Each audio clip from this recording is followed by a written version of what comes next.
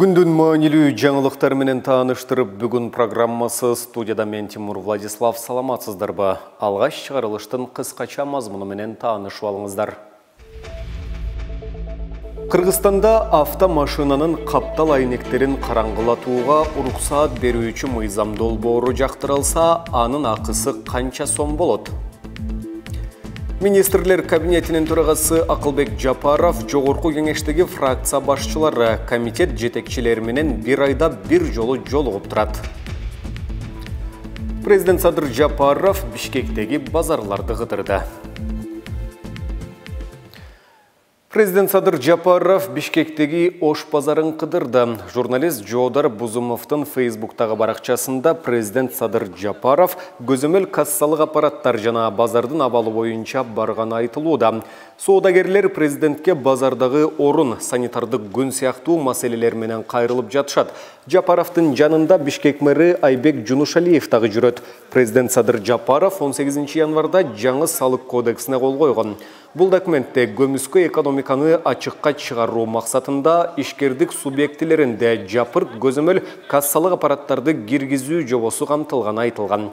Өкмөт муну бюджетке түшкөн салык бажы төлөмдөрүн көбөйтүү максаты менен негиздеген. Буга чейин Дордой, Дордой Матерс жана Таатан өңдүү ири соода базарлардагы соодагерлер кассалык аппараттарды киргизүүгө каршы нааразылык акциясына чыгышкан. Аргандай маалыматтар боюнча Бишкектеги ири базарларда 2000дей адам жайма базарда соодагерлик кылат. Өзүм айтыш кыйын дейм. Сиздин позицияңызды сурап атам. Мындайда миллионға чейин жетпесе товар бир тиын төлөбөйсүз патент албайсыз бекерсиз Жогорку кеңештин депутаты Сейитбек Атамбаев Жогорку кеңеште улуттук коопсуздук мамлекеттик комитет боюнча мыйзам долбоору каралып жатканын айтып, аңдагы тыңшоо жана видео көзөмөл боюнча жоболорго каршы экенин билдирди. Ал бул тууралуу Facebook баракчасына жазды. УКМКнын ишмердүүлүгүнө байланыштуу жаңы мыйзамдын долбоору жакында кабыл алынышы мүмкүн. Ал мыйзамдын долбоорунда УКМК прокуратуранын уруксааты жок эле тыңшоону жана видео көзөмөл кылууну күчтөндүрүүгө багытталган нормалар каралган.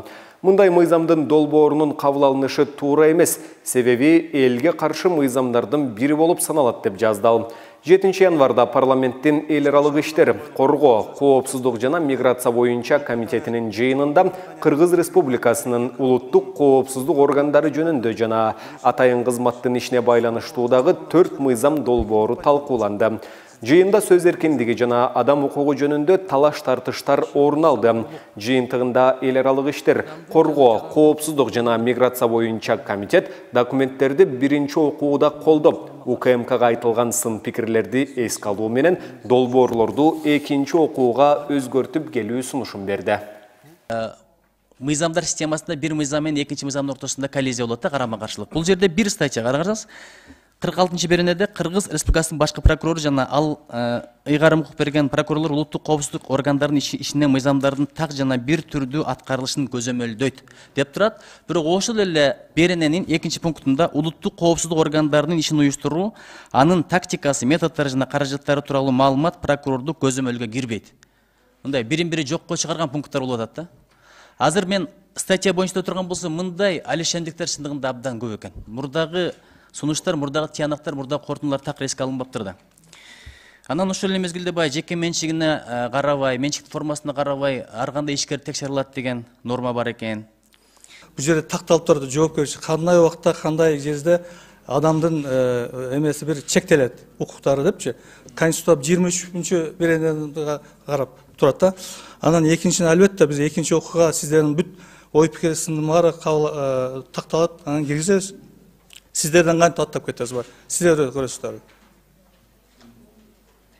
қолдап беріңіздер біз қол бұтым байланбасын Кыргызстанда автомашинанын каптал айнектерин караңгылатууга уруксаат берилген мыйзам долбоору жактырылса, анын акысы бир жылга 30-50 миң сом болушу ыктымал. Бул тууралуу экономика жана коммерция министри Данияр Амангелдиев жогорку кеңештен укук тартиби, кылмыштуулук менен күрөшүү жана коррупцияга каршы аракеттенүү боюнча комитетинин 8 февралдагы жыйынында билдирди. Депутаттар Кыргызстанда айнектерин акы төлөп караңгылатууга уруксаат берүү сунушталган долбоорду талкуулап жатышат.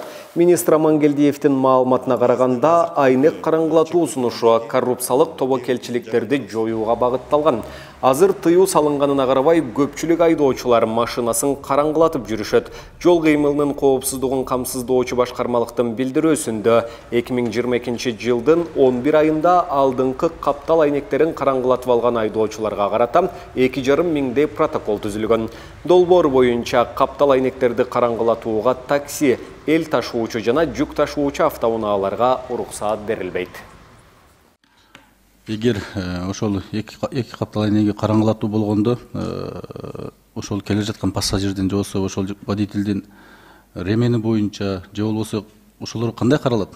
Телефондо сүйлөшүү боюнча ошолор боюнча мындай байкай алабы гаишниктер азыркы күндө жанагы биздин мыйзам боюнча эки капталы гана уруксат берилип атат. Алдыңкы терезеси эмеки караңгылатканга мүмкүнчүлүк жок. Эгерде коопсуз шаардын ичинде жүрө турган болсо ал сөзсүз түрдө көрүнөт демек. Жана э, бул только жана авто сүйүүчүлөргө гана берилет. Такси жанагы адам ташуучу жана автобустарга ал жагынан уруксат берилбейт.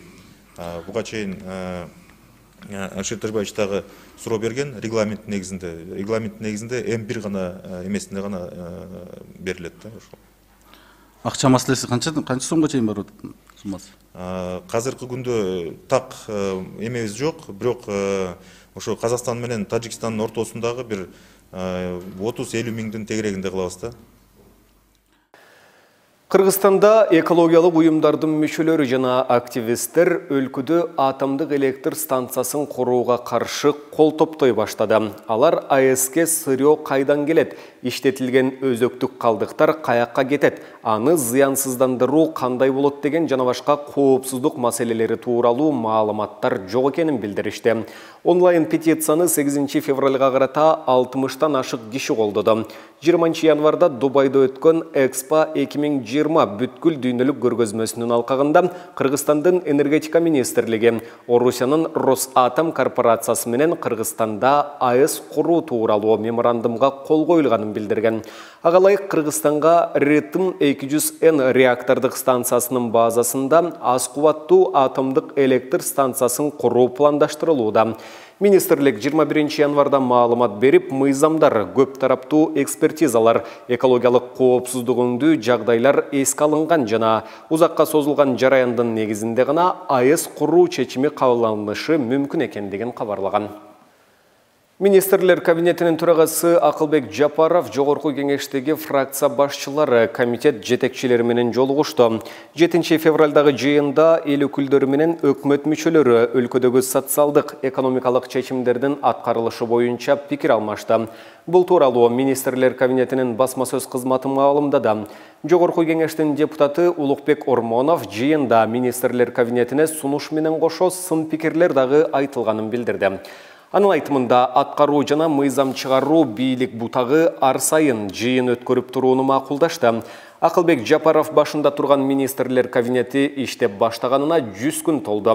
Жогорку кеңештин 3 февралдагы жыйынында айрым депутаттар министрлер кабинетинин төрагасынын орун басары Эдил Байсаловдун парламент тууралуу айткандарын сынга алган. Аны тартипке чакыруу тууралуу өкмөт башчыга жана президенттин парламенттеги өкүлүнө кайрылган. Биринчи май райондук соту Бишкектин экс-мэри Азиз Сурахматовга карата козголгон кылмыш ишин токтотту. Соттон билдиргендей, айыпталуучунун жактоочулары январ айынын соңунда кылмыш ишинин мөөнөтү өтүп кеткендигине байланыштуу козголгон ишти токтотууну өтүнүшкөн. Сурахматов тергөө менен кызматташуунун алкагында мамлекетке келтирилген чыгымды төлөп бергендиги белгиленди. Сот жактоочулардын өтүнүчүн канааттандырган. Эске салсак, Бишкектин мурдагы мэри Сурахматов мыйзамсыз баю жана коррупцияга айыпталган. Ал ошондой эле тууганы менен биргеликте Борбор калаанын түштүк бөлүгүнүн эң кымбат аймагынан 15 гектар жерди жеке менчигине өткөрүп алгандыгы айтылган. Мындан тышкары Бишкектин ар кайсы бөлүгүнөн жер участокторун узак мөөнөткө ижарага алып, туугандарына аффилирленген тараптарга каттаткан деп маалымдалган. Мына ушуну менен бүгүнкү берүүбүздү жыйынтыктайбыз. Кийинки эфирлерден амандашканча сак саламатта туруңуздар.